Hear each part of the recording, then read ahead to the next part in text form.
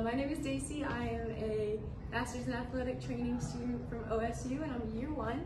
I'm at lovely Bishop Kelly here um, and I have had the opportunity to be with them for about four weeks so far and I've really loved it. So come see one of our training rooms in here. We have one training room that is up here with um, all of the classes and our other training room is down with football and that's the field house one. So I have been working with the football team and we are district champions and hoping to be state champions. Uh, and then we also have the basketball teams that I get to work with, both male and female, and also the wrestling teams. So it's really exciting and Bishop Kelly is great. So here's our lovely place we have decorated for Christmas. So we love some good Christmas here.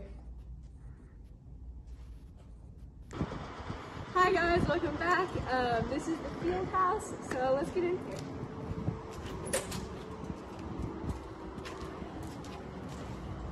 So uh, something that is really cool is that I actually grew up in the Tulsa area in Jenks, um, so I had the opportunity to hear about all these different schools, and I actually had friends that went to the various schools.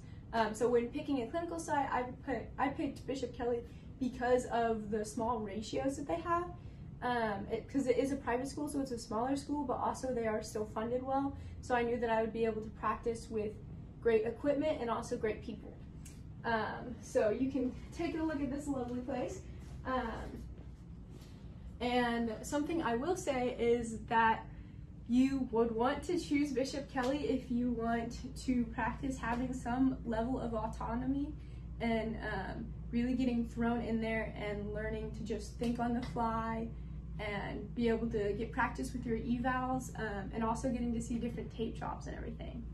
Okay, so something that's also unique about Bishop Kelly is that you we have two different athletic trainers. So even though it's a smaller school, um, we, I get to have those interpersonal um, relationships with both of them and getting to see how they both um, approach different injuries, how they tape certain things, um, and just really getting to learn from both of them. Even though I have one main preceptor, I also get to learn from both of them.